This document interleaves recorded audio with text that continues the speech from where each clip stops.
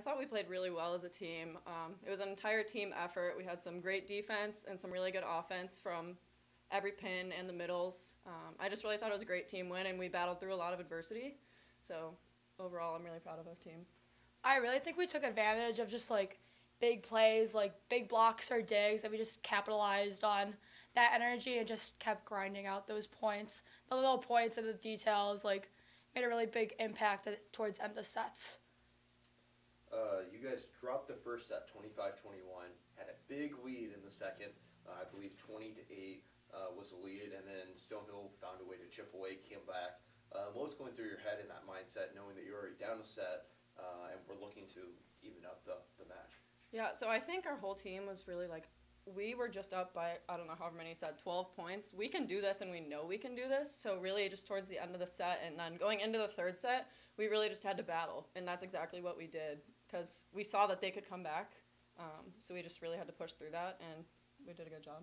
And for our East Coast Com- Conference Championship, it was kind of the same. Like we were down 2 1, and we knew that we had to pull ahead and win the next two, and that was kind of the mindset that we had for that set, too. Uh, you don't know the team that you're going to be playing tomorrow, uh, which is a good and a bad thing.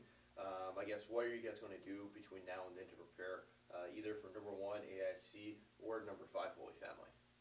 I think our team is going to rest up, uh, get a lot of recovery in, and probably watch the other game and get a good scouting report so we're ready for tomorrow.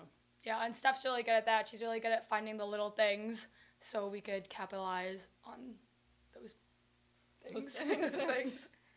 Awesome board. Yeah, I think we had a lead early in the first set, and then we kind of took pressure off and weren't as aggressive on the service line. So really, sets two through four was about being aggressive on the service line because we know that they struggle out of system. They can't get number 13 the ball, and so I thought we did a really good job of serving aggressive, especially at the end of that fourth set when there was a little bit of pressure on us. but I knew that once we hit 20, like it was our match, and the team felt that too, and I think they did a really great job. Uh, brought it up with your players. You guys were up 20 to 8 uh, in that second set. Uh, I could see the wheels go in your head as Stonehill fought back, got closer and closer uh, before you guys ended up taking the set 25 22.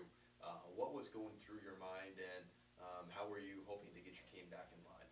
Yeah, I just told them that whether Stonehill comes back and wins this, we need to fight for every point. We need to play as hard as we can play and like no looking behind, just going forward. Um, so I kind of got on them a little bit in that moment because you know it's one of those things where they're like, "Oh, what's happening? We just had a big lead," and you could like feel that on the court, right? So I'm like, "We're not doing this. Like we're playing hard. We're looking forward, and we're pushing through it." Um, so you guys end up coming back, taking care of business, 25 or sorry, 25-20 in the second and the or sorry, the third and fourth sets. Um, so obviously you guys have played a couple sets tonight. Uh, you're preparing for East Region uh, showdown uh, tomorrow night with the opponent to be decided here in a little bit. Uh, what are you going to do from a coaching perspective between tonight and tomorrow? Yeah, I think everyone just needs some rest and you know, we still haven't played our best volleyball. I mean, the NCAA tournament doesn't really matter. It just matters about the end result, right? And so I know that we can be much cleaner, and our team knows that, and I think that we'll be ready for tomorrow. Uh, we heard after the match uh, the team yelling and celebrating. Uh, I heard it was a milestone for you. Uh, win number 100, is that correct? That's correct, yeah. Uh, how, what's the feeling of knowing that you've reached that plateau, um, a huge milestone, and then also doing it in the NCAA tournament as well? I honestly, those things like don't really matter that much to me. You know, I, I get more excitement and joy out of like coaching young women and watching them grow and develop. Like that's that's why I do this. The winning is a byproduct. Like yes, I love to win, um, but it's more about like teaching and role modeling and learning through the court. And so I couldn't have done this without the young women that have surrounded me for the past six years, and they've bought into what I've been telling them and and our culture and our mission. And I'm just really proud of everyone that's been a part of this program.